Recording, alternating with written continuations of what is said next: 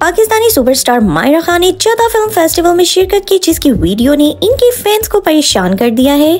Pakistani showbiz industry के चमकते सितारों में से एक सितारा मायरा खान है, जिन्होंने ड्रामा हम सफ़र में अपनी शानदार अदाकारी से रातों रात शोहरत हासिल की।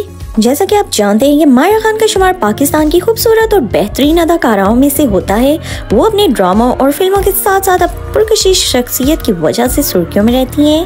पाकिस्तान और भारत में यकसा तौर पर मकबूल अदाकारा मायरा खान ने हाल ही में कारोबारी शख्सियत सलीम करीम से दूसरी शादी की। अदाकारा की व्हील को एक खातून चलाती नज़र आ रही है, जबकि होटल से बाहर निकलते ही मायरा खान व्हील चेयर से उठकर वॉकिंग स्टिक हाथ में थाम इसकी मदद से चलना शुरू कर देती है। जदा फ़िल्म फेस्टिवल से वायरल होने वाली इस वीडियो में मायरा खान की एक टांग पर प्लास्टर चढ़ा हुआ भी देखा जा सकता है। वीडियो में मायरा खान की गुफ्तगु भी सुनी जा सकती है जिसमें एक शख्स इनसे फ्रैक्चर के मतलब पूछता है जिस पर वो कहती हैं कि इनशाला टाइम तो हो गया है लेकिन ठीक नहीं हो रहा।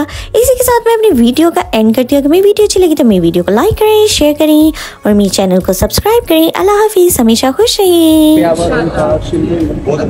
टाइम तो हो गया है बट डील नहीं हो रहा। बना यार